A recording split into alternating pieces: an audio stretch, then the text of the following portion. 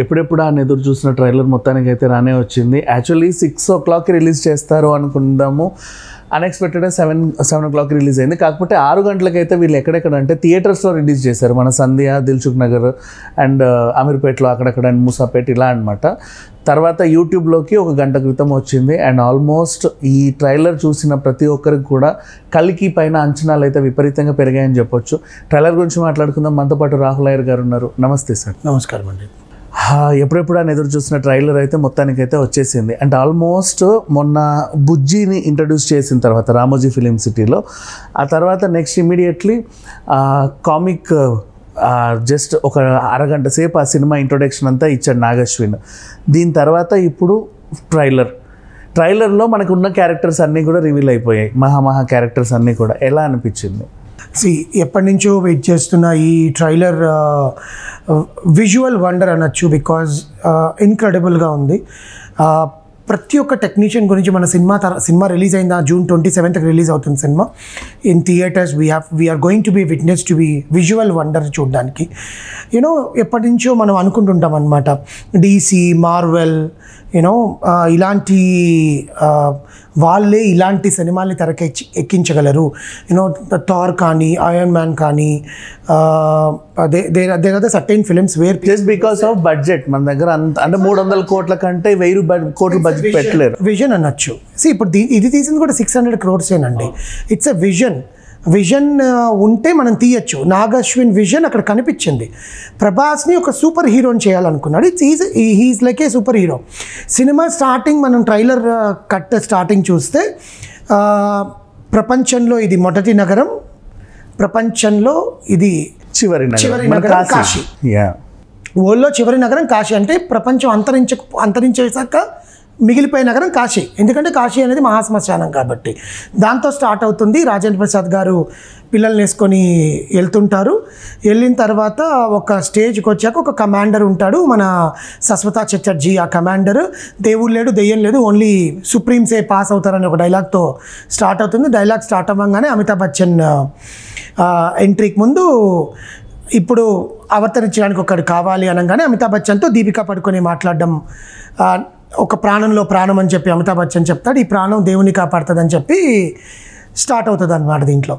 ఇందులో మనం మెచ్చుకోదగిన విషయాలు ఏంటంటే జనాలకి ఎక్కడ కనెక్ట్ చేయాలా ఎక్కడ కనెక్ట్ చేయకూడదు అనేది నాగశ్విన్ అండ్ ఎడిటర్ మన కోటగిరి వెంకటేశ్వరరావు ఆస్థాన ఎడిటర్ ఆఫ్ వైజయంతి మూవీస్. ఆయన కట్ చేసిన ట్రైలర్ కట్ ఎక్కడైతే ఉంటుందో బికాస్ పీపుల్ మన బుజ్జి భైరవాని ఎట్లయితే ఈ అమెజాన్ ప్రైమ్లో రిలీజ్ చేసి నాగశ్విన్ ఒక విజ్ ఒక క్రియేటివ్ థాట్తో రిలీజ్ చేశాడో ట్రైలర్ని అంతకు మించి రిలీజ్ చేశారు అనమాట people are expecting where will be Prabhas because దానికి ముందు వచ్చిన సలార్లో ప్రభాస్ని లాస్ట్ ఒక ఇరవై సెకండ్లు చూపించారు. దీంట్లో ప్రభాసే ఉన్నాడు. ప్రభాసే ఉన్నాడు ప్రభాస్ డైలాగ్స్ ఉన్నాయి ప్రభాస్ని చూపించారు ప్రభాస్ని విజువల్గా చూపించారు. Including that Deepika Padukone Disha Patani Pashupathi Shobhana and all other characters are revealed ఇంతమంది ఉన్నారా అని including Dulquer Salmaan and whatever the కల్మ మన కమల్ హాసన్ గారి క్యారెక్టర్ ఏదైతే ఉందో అది ఎలా అనిపించింది? అది ఎక్స్పెక్ట్ చేయలేదండి. క్లైమాక్స్లో ఆయన ఫేస్కి అంతా కూడా ఏదో ఒక ఏలియన్ టైప్లో వచ్చి ఇప్పుడు మొదలవుతుంది ఒక శకం అన్నట్టుగా ఒకటి డైలాగ్ చెప్తాడనమాట ఆ డైలాగ్ ఆ బేస్ వాయిస్తో గూస్ బంప్స్ ఇంకంతే బికాస్ ముగ్గురిని ముగ్గురు దిగ్గజాల్ని ఒక సినిమాలో చూడడం అంటే legends of two industries one is Bollywood Amitabh Bachchan garu. రెండు తమిళ్ కోలీవుడ్కి మనకు సంబంధించిన మన కమల్ హాసన్ అండ్ మన తెలుగుకి సంబంధించిన ప్రభాస్ విత్ వైజయంతి మూవీస్. ఇంత ముగ్గురిని ఒక సినిమాలో చూడడం అనేది it's a visual treat and దీన్ని మనం ఏ రకంతో నేను పోల్చట్లేదండి.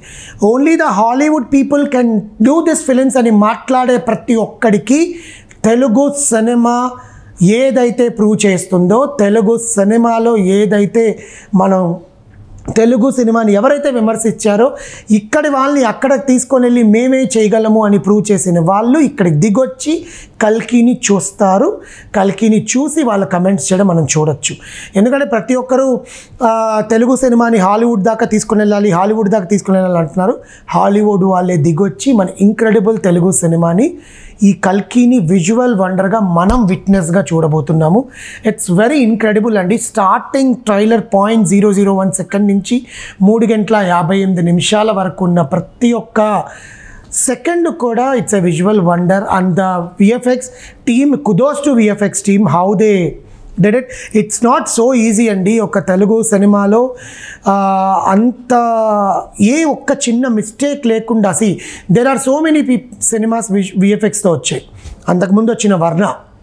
వర్ణ వర్ణ దగ్గర నుంచి మన అనగనగా ఒక తీరుడు అనగనక ఒక ధీరుడు ఇట్స్ ఇప్పుడు రిలీజ్ అయ్యింటే ఇట్స్ అ బ్లాక్ బస్టర్ అవును.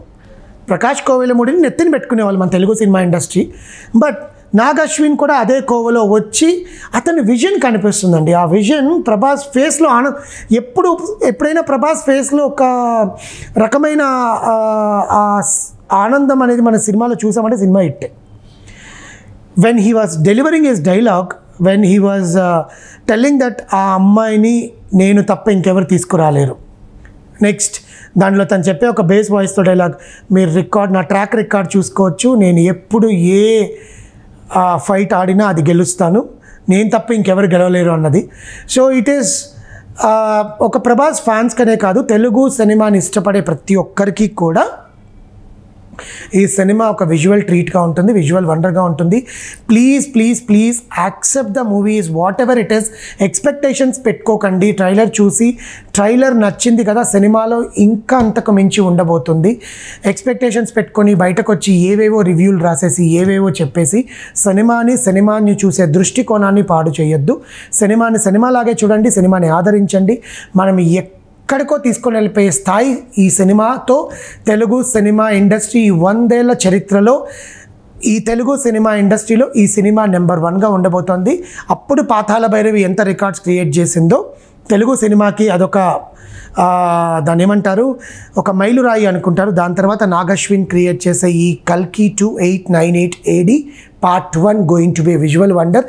ఇందులో చెప్పుకోదగిన విషయం ఏంటంటే ప్రతి ఒక్క ఆర్టిస్ట్ ఓన్ డబ్బింగ్. ఏ ఎటువంటి డబ్బింగ్ ఆర్టిస్ట్ని వాడలేదు. నాగశ్విన్ తీసుకున్న ప్ర జాగ్రత్త అది. దీపిక పడుకునే వాయిస్ తెలుగు పట్ల తామకుండే ఉచ్చారణ. స్ట్రైట్ తెలుగు ఫిలిం అండి. మన పాత సినిమాలతో పోల్చుకుంటే ఇది హిందీలో ఏదో షార్ట్ తీసి కాదు. హిందీలో కొన్ని షార్ట్స్ మాత్రమే తీశారు. ఇంకా అసలు విషయానికి వస్తే దీంట్లో ట్రైలర్లో అందరూ ఎదురు చూసినటువంటి బుజ్జి ఏదైతే అంత అట్టహాసంగా పెద్ద ఇంట్రొడక్షన్ ఇచ్చారు ఒక మొన్న రామోజీ ఫిలిం సిటీలో అండ్ ఆ తర్వాత కూడా ప్రభాస్తో పాటు త్రూ అవుట్ క్యారీ చేసి రెండు క్యారెక్టర్లు అతని ఇంటి ఓనర్గా బ్రహ్మానందం అతడితో పాటు త్రూ అవుట్ ట్రావెల్ అయ్యే బుజ్జి. వీళ్ళిద్దరికి అసలు బుజ్జికి అయితే అసలు ట్రైలర్లో స్పేసే లేదు. అండ్ బ్రహ్మానందం గారు జస్ట్ అలా వచ్చి అలా వెళ్ళిపోయారు. దీన్ని ఏ విధంగా చూడాలి? అది సినిమాలో చూడాలి కదండి. ఎందుకంటే ఆల్రెడీ ముందు ఒక హైప్ ఇచ్చేసిన రెండు క్యారెక్టర్లని ట్రైలర్లో పెడితే ఏముంటుంది? సినిమాలో చూడాలి. రాజన్ క్యారెక్టర్గా చేస్తున్న బ్రహ్మానందంది B U J Z one as alias Bujji చూసే వీళ్ళిద్దరిని మనం సినిమాలో చూస్తే అది తెలుస్తుంది. ట్రైలర్లో మిగతా క్యారెక్టర్ని చూపించారు. అండ్ నెక్స్ట్ దీని బ్యాక్గ్రౌండ్ స్కోర్ ఎలా ఉంది? దీనికి మ్యూజిక్ డైరెక్టర్ ఇచ్చిన సంతోష్ నారాయణన్ ఎల్లియర్ తన ఫస్ట్ ఏఆర్ రెహమాన్ గారు అనుకున్నారు టూ థౌజండ్ ట్వంటీలో. ఆయన సైన్ చేయలేదు. తర్వాత మిక్కీ జే మేయర్ తన మహానటికి ఇచ్చిన వాళ్ళని అనుకున్నారు. కానీ కాకుండా సంతోష్ నారాయణన్ సైన్ చేశారు ఫిబ్రవరి టూ థౌజండ్ ట్వంటీ త్రీలో. So he has given the good background score ఎందుకంటే ఆ సినిమాకి ఎటువంటి కావాలా? అంతవరకే ఇచ్చారు. ఎందుకంటే the voice should be more rather than the బ్యా RR the voice should be more so దాని తగ్గట్టుగా ఇచ్చారు. సినిమా చూస్తే తెలిసింది. బికాస్ ట్రైలర్కి ఉన్న ఆ- టైమింగ్ వల్ల మనం ఆ మ్యూజిక్ని గెస్ట్ చేయలేం. కానీ it was good and it is it will be good in the movie ఇకపోతే తెలుగు సినిమా స్థాయిని అసలు ఎప్పుడో కొన్ని దశాబ్దాల క్రితమే నెక్స్ట్ లెవెల్ తీసుకెళ్ళినటువంటి సంగీతం శ్రీనివాసరావు గారు. అప్పట్లోనే ఒక విజన్ ఆదిత్య త్రీ సిక్స్ నైన్తో ఒక టైం మిషన్ కనిపెట్టి నెక్స్ట్ వరల్డ్కి వెళ్ళడం. అతను దీనికి మెంటర్గా చేయడం ఎలా ఉంది? ఆయన మెంటర్షిప్లో నాగశ్విన్ చేశాడు అనడంతోనే సినిమా హిట్ అనుకోవచ్చు. ఎందుకంటే సంగీతం శ్రీనివాసరావు గారు పాతాల భైరవి కూడా చేశాడు. అసోసియేట్ డైరెక్టర్గా.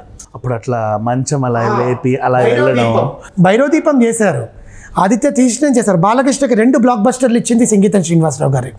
సో అలాంటి ఆయనకి నాగశ్విన్ బ్రెయిన్ ఈ రెండు బ్రెయిన్స్ తోడు తోడైతే ఎలా ఉంటుంది అనేది అదే కలికి ట్రైలర్లో చూపించేస్తున్నారు అనమాట see no no no talks about the legends అండి. వాళ్ళంతా అండ్ ఇక చివరిగా మనం గుర్తు చేసుకోవాల్సిన విషయం ఏంటంటే ఈ జనరేషన్లో చాలామంది కూడా కొత్త కొత్త మ్యూజిక్ డైరెక్టర్స్ కొత్త కొత్త టెక్నీషియన్స్ వచ్చే టైం అండ్ ఎక్కడెక్కడ నుంచి హాలీవుడ్ నుంచి కూడా మన కెమెరామెన్ తీసుకొచ్చి పెట్టారు.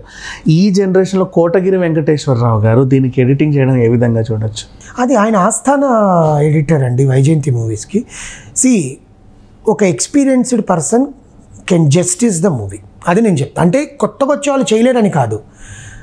అంత పెద్ద భారాన్ని నెత్తి మీద వేసుకొని ఎడిటింగ్ చేయాలంటే it is not it is not so అంటే వాళ్ళకి అది కూడా కొత్త ఐ మీన్ అదంతా కొత్త ప్రపంచం వీళ్ళకి కూడా. వీళ్ళంతా వచ్చి దాన్ని ఏదైనా ఒక్క చిన్న మిస్టేక్ అయినా జరిగింది అంటే సినిమా విల్ బి కొలాప్స్ వాళ్ళకి తెలుసు ఎక్స్పీరియన్స్ పర్సనే చేయగలరు. ఎందుకంటే కోటగిరి వెంకటేశ్వరరావు గారి మీద ఉండే ఆ ప్రెషర్ ఉంటుంది చూసారా ఈ ట్రైలర్ కట్ రిలీజ్ చేయడానికి? నాగశ్విని కోటగిరి వెంకటేశ్వరరావు గారు మన స్వప్న దత్ కూర్చొని వాళ్ళు చేసింది మూడు గంటల యాభై ఐదు నిమిషాలతో ఈరోజు మనం ఆరు గంటలకి విజువల్గా చూసాం. సో ఆయన గురించి పెద్ద మాట్లాడుకోవడానికి ఏముండదు సినిమాలో కనిపిస్తుంది మనకి అది ఇక చివరాఖరి క్వశ్చన్ యాక్చువల్లీ నాగశ్వన్ అంటే ఎప్పుడైనా సినిమాటిక్ లిబర్టీ తీసుకుంటాడు. ఇప్పుడు మహానటి కూడా ఇది సావిత్రి కథ కాదు అని చాలామంది అన్నప్పటికీ కన్విన్స్ అయ్యాం మనం. దీంట్లో కూడా అశ్వత్థామ మన అమితాబ్ బచ్చన్ గారికి ఇక్కడ ఏదైతే ఉంటుందో ఆ మనీ యాక్చువల్లీ పురాణాల్లో మహాభారతం ఎప్పుడో పోయింది అది. ఆయన యంగ్ ఏజ్లో ఉన్నప్పుడే మనీ పోయింది. ఈ ఓల్డ్ ఏజ్లో కూడా అది కంటిన్యూ చేశారు. జనాలు ఎలా కన్విన్స్ అవుతారు అనుకుంటారు? ఇన్ కేస్ భారతం తెలిసిన వాళ్ళు అది ఆ దానికి జస్టిఫికేషన్ థియేటర్ సినిమాలో ఏమైనా ఇస్తాడేమో. బికాస్ నేను కూడా చూసినప్పుడు we are even I'm I was thinking how it will be ఆ మనీ ఆయనకి దొరుకుండొచ్చేమో. మళ్ళీ అవును అందుకంటే ఇలా తీసుకున్న ఒక విజువల్ అయితే చూ విజువల్ అయితే చూసాం. అది దొరుకుండొచ్చేమో ఆ మనీ. నా మనీ పెట్టుకున్నాకనే తనకి విజన్ కనిపించింది. నేను కాపాడగలను అంటాడు అతను. నేను తప్ప ఇంకెవరిని కాపాడలేను అంటాడు. ఆ మణికుండే పవర్ అలాంటిది. So let see how it will be justified in the theatre